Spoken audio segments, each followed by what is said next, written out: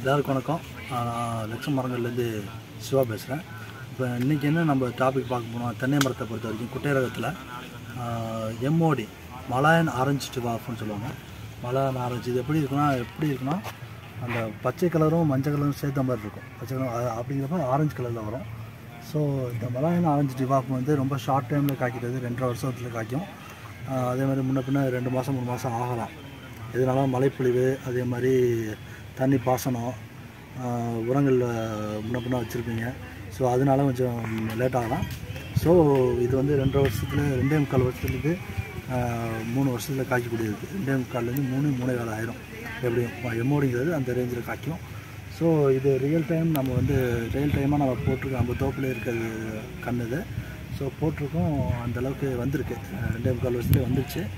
So அதனால் இதெல்லாம் ஒரு சாம்பிள் மாதிரி நாங்கள் போட்டு பண்ணியிருக்கோம். நல்லா இருக்குது நல்லா வந்துட்டுருக்கு. எல்லா எல்லா வகையான மண் ரகத்துலேயும் வருது இந்த ரகம். ஸோ உங்களுக்கு முப்பத்தஞ்சுலேருந்து நாற்பது வருஷம் அதோட வாழ்நாள். ஸோ அது வரைக்கும் நீங்கள் வந்து அதோட ஈல்ட் எடுத்துக்கலாம். உங்களுக்கு ஒரு மாதத்துக்கு ஒரு நாலஞ்சு கொலையில் வந்து காய்க்கும். அஞ்சு கொலையில் காய்க்கும். ஒன்று ரெண்டு மூணு நாலு அஞ்சு கொலை இருக்குது.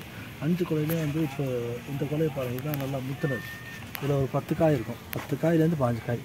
ஸோ இது இந்த கொட்டை இதுதான் வந்து கொஞ்சம் கம்மியான தேங்காய் பருப்பு வர்றது. ஸோ பதினஞ்சு காய் பத்து டு பதினஞ்சு காய் வந்துடும் ஸோ நம்ம சேனலை சப்ஸ்கிரைப் பண்ணாதவங்க சப்ஸ்கிரைப் பண்ணுங்கள் ஷேர் பண்ணுங்கள் வீடியோஸ்லாம் பிடிச்சிருந்துச்சா லைக் கமெண்ட்ஸ் பண்ணுங்கள் எது எந்த மாதிரி வீடியோஸ் போடலாம்? இந்த மரங்களுக்கு எது எது மாதிரி போடலாம்? என்ன கரெக்ஷன்ஸ் பண்ணலாம் அப்படிங்கிறத நீங்கள் வந்து தெளிவாக கமெண்ட்ஸில் பதிவு பண்ணுங்கள் நன்றி வணக்கம்.